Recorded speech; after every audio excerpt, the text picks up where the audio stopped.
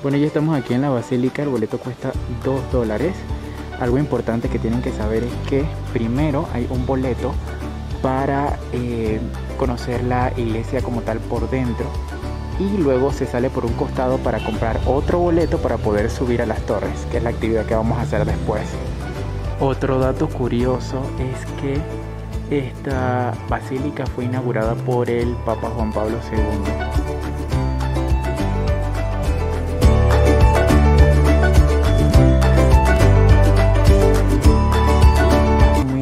Es que la iglesia tiene 24 capillas que son como nichos y se aprecian, van viendo que hay una bandera diferente en cada una y representan las 24 provincias actuales que tiene Ecuador.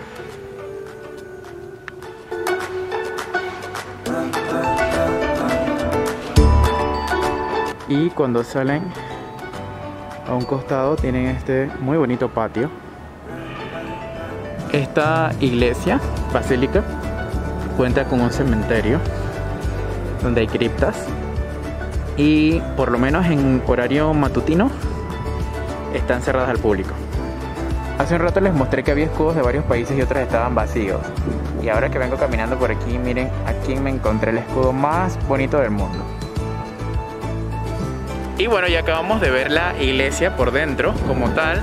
Hicimos un recorrido por la plaza que hay alrededor y ahora nos dirigimos, ya compramos el boleto, cuesta otros 2 dólares para poder subir a las torres. O sea, hasta allá arriba. Ah, ya puedo pasar.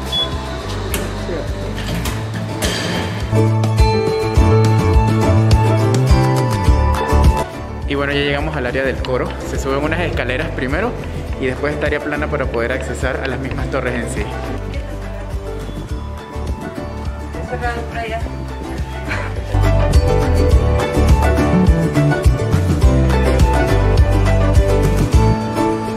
Cuando están a mitad del el ascenso hay un mirador bastante bonito en que pueden ver la parte sur, creo, de la ciudad. Y ahora vamos a iniciar el ascenso, qué emoción. Las restricciones para subir. Torre de...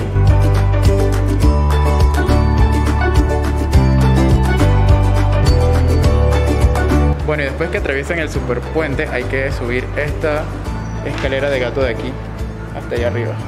Traigan bastante alcohol para que se limpien las manos. Listo desde arriba, nos vemos caminando así.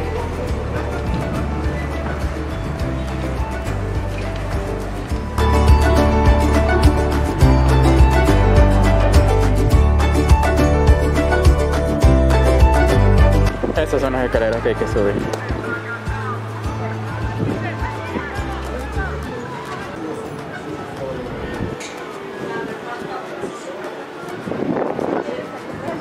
Y ya terminamos de eh, subir a la torre del centro. Ahora vamos a subir a la torre de la izquierda. Y vamos pasando por el puente este. Así que se mueve bastante. Y subiendo a la otra torre.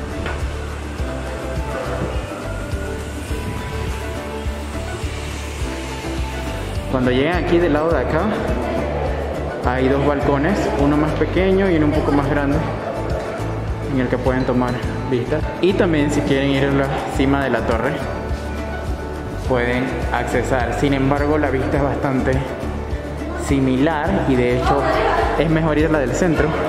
Y si quieren tomar algo, hay una cafetería en una de las torres con bonitas vistas, sin embargo no hay para pagar con tarjeta, así que traigan efectivo.